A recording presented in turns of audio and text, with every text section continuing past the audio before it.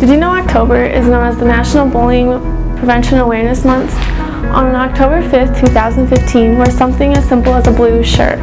This year will be the 7th annual Blue Shirt Awareness Day. Let's stomp out bullying as a team.